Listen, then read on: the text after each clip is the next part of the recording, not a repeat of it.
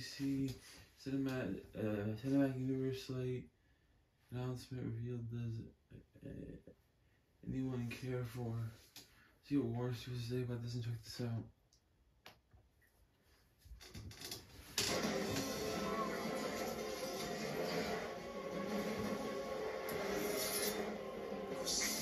So in today's video, we're going to talk about James Gunn DCU announcement is coming. Is it though? I don't actually know if it's coming, but if he is a man of his word, he said, some news would be coming in January. Now, we only have the 28th, the 29th, 30th, and 31st, so it's either probably going to come Monday or Tuesday, if Mhm. anything is coming at all. Then we're also going to talk about the DC Universe. Will anyone care about the new universe? Now, let me explain before you jump down my throat. So, yo, what is freaking good YouTube watch you here? If you're new around here, make sure to subscribe to never miss any Marvel DC pop culture based content. We will be reaching out to new sectors, to new genres later on this year. So stay on the channel for new kind of videos. Can be very, very simply subscribe to the channel, turn notifications on. And if you could, check us out on Instagram at Washed You. Because I'm currently cut in to get shredded again. We've done the miniature mini bulk, lean bulk, whatever you want to call it. Now it's time to bring the shreds back. So if you want to watch my transformation on the stories, just hit me up on Instagram at Washed You.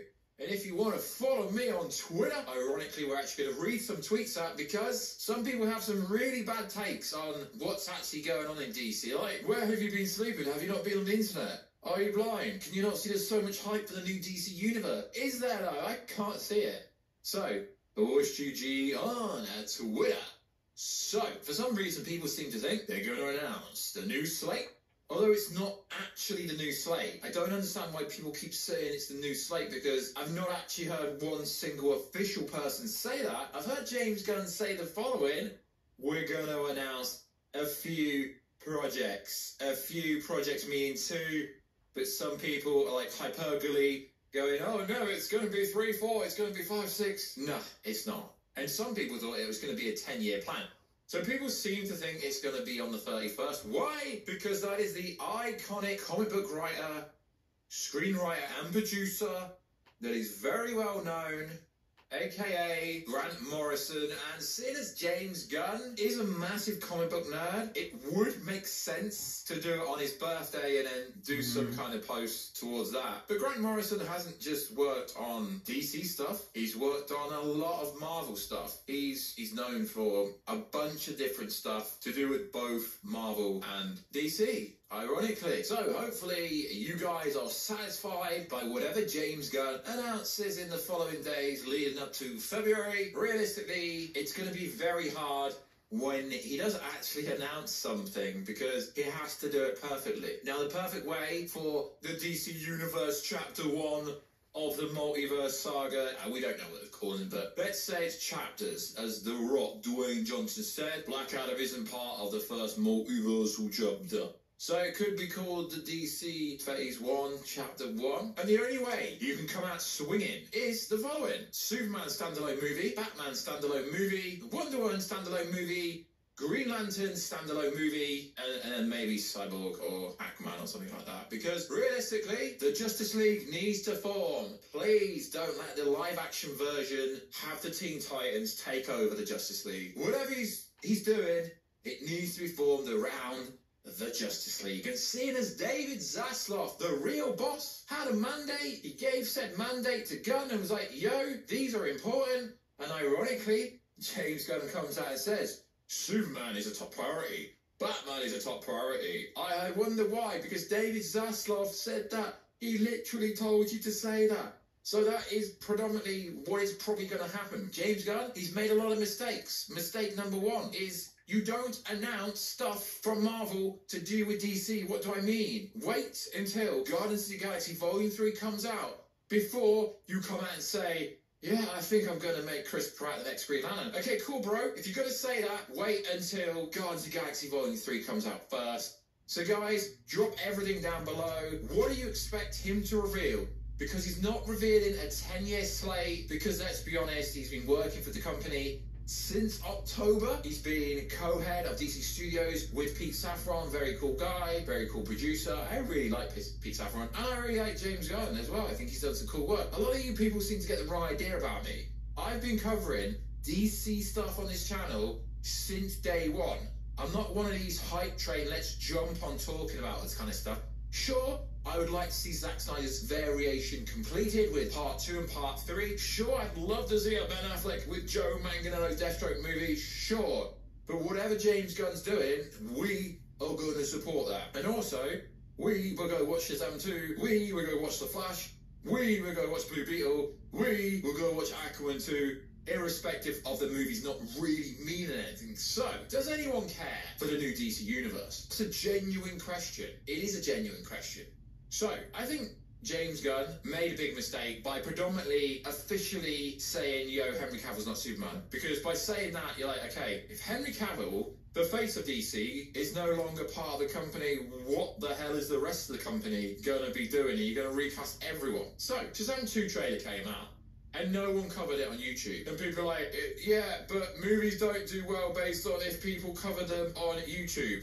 Okay, I understand that, but I also understand social media has a huge impact on how well movies do or don't do. Take Avatar 2 for one. Avatar 2, it's everywhere. People have been talking about it for such a long time. Nobody, we've actually done a plot leak for Shazam 2, which has been confirmed to be real based on the most recent trailer. Don't get me wrong, I've met David Sandberg, I've met Pete Safran. Yeah, Shazam was really cool, and I'm personally looking really forward to it. But my point here is, if no one cares for the four DC movies coming out this year, why are they going to care for what else is coming? All I'm saying is, whoever they're casting for the new Superman, the new Batman, although it could still be Robert Pattinson, for the new Green Lantern and for the new Wonder Woman, if she gets replaced, your casting's going to have to be fire. So, Shazam Fury of the Gods trailer on the YouTube on the official Warner Brothers page. 11 million views two days ago. Okay, so it's all right to be like, yeah, no YouTubers are reacting to it, no one's doing TikToks. Well, realistically, all the movies that do well at least have some form of social media engagement. I've spoke to a bunch of YouTubers and no one freaking cares about Shazam 2. Because of what James Gunn and Pete, well, okay, Pete Safran didn't say anything. Because James Gunn has made it clear that they're doing whatever the hell they want. Cool, bro.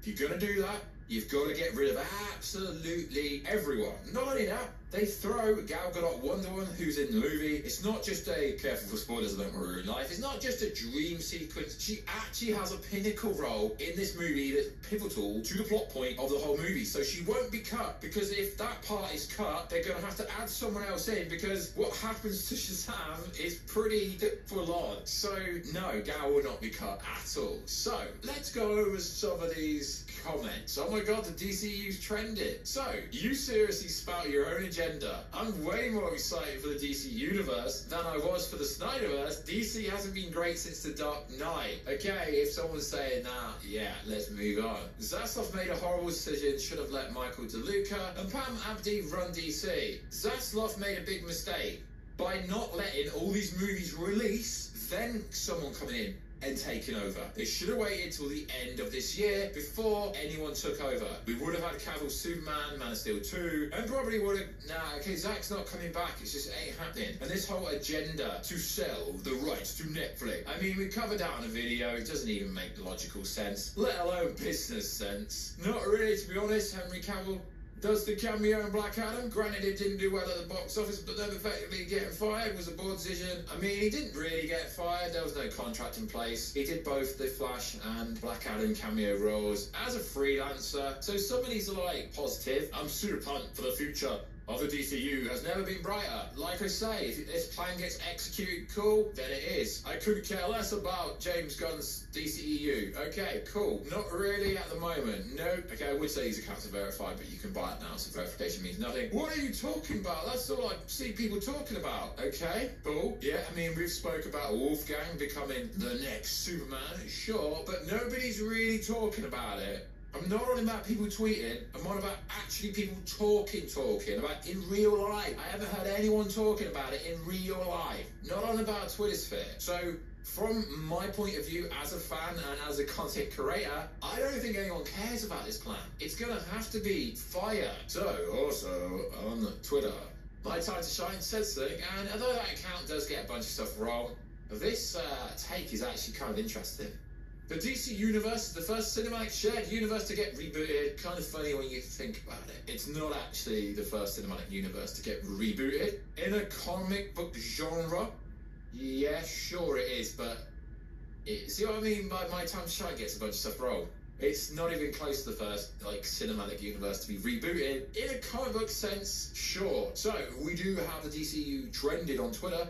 Let's see what people are saying. Zack Snyder nothing to do with the downfall Warner Bros. In fact, when he was around, the only time DCU was making money, that is true. The Suicide Squad lost money. Black Adam, eh, kind of lost money, I guess, in a roundabout way. The Batman made money. Joaquin Phoenix made money. Wonder Woman 984 lost money. Birds of Prey lost money. Yeah, more movies lost money than made money. I mean, people keep saying that there's so much hype for the DC universe, but I, I really can't see it. So hopefully, the new Holy Trinity actually gets casted perfectly. Because if you remember, when Batfleck was first announced, everybody hated the idea, and now everybody wants him back. He's in the Flash, for sure, and it's all right. Fan casting, Gamora from The Guardian, and she's also in Avatar 2. She's one of the only actors to appear in three movies that bang $2 billion, so sure, bring her over because the movies might bang. Yeah, I think she would be a perfect Grail. Darkseid's daughter. That would be, yeah, because she's a very talented actor. That would be pretty good. But I can't see her being casted as Grail. Why? Because that would imply they have to do some kind of storyline with the new gods the anti-gods and kind of Darkseid and all the apocalyptic stuff. I can't see James Gunn going straight in the DMs with that, although that would be cool, get the new Wonder Woman to fight Grail. That would be freaking sick. Make it happen, James Gunn. So, does anyone care for the new DCU? I don't know, but one thing I will say is you guys are going to let me know down below, right? Do you care for the new DCU? And before you all say, yeah, what's you, you're just a Snyder fanboy, I cover just as much Marvel content as DC content, if not more. I covered all the Arrowverse, the Flash show, the Arrow show. Also, we did Legends of Tomorrow, we did Supergirl. I covered all that stuff, so I'm not really on any side. I'm on the side of make DC great again. I really hope James Gunn can do it. Pete Safran's a very good producer. He knows what he's talking about. Having spoke to him personally in real life, not on the internet, I can see he's passionate when I spoke to him about Shazam. So I do have faith in them, but I just wish James Gunn would stop saying stuff.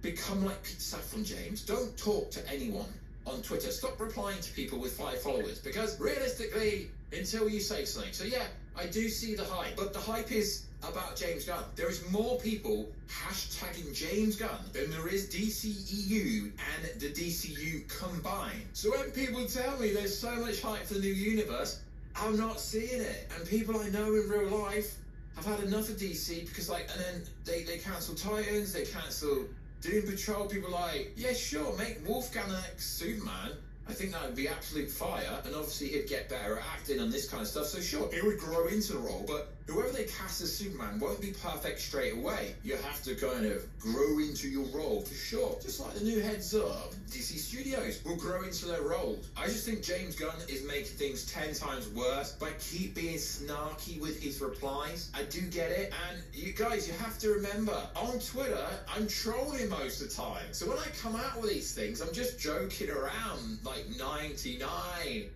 of the time.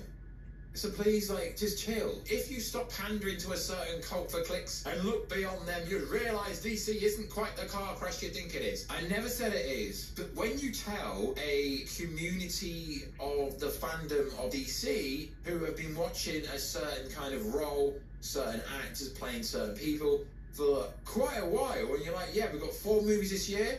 It's going to mean absolutely nothing when movies come out. There's no connective tissue. But sure, go watch it. And then I look at the trailer numbers 10 million for Shazam 2, pretty darn weak when you compare it to something like Ant-Man 3. Oh, but you can't compare Shazam to Ant-Man 3. Why can't you? You can, but you don't want to make that comparison. But Ant-Man 3 is high. Yeah, we get that. We get it. But the thing is, it's a third movie and it Shazam 2's a second, so you can somewhat make the comparison here. My point is, there's no hype for Shazam 2, so is there going to be a hype for the new DC Universe? We don't know. So like always, guys, this is kind of an opinion piece about the new DC Universe. So like always, guys, let me know what do you think the new slate or projects that James Gunn's going to announce on behalf of and Pete Safran and David Zaslav and James Gunn is probably going to snarkily renounce it on Twitter because that's the only place he likes to talk, apparently. So like always, guys, check us out on Instagram at Joe. Check us out on Twitter. OS2G, and I'll catch you in another video very soon. Catch ya later. You like this video, great, you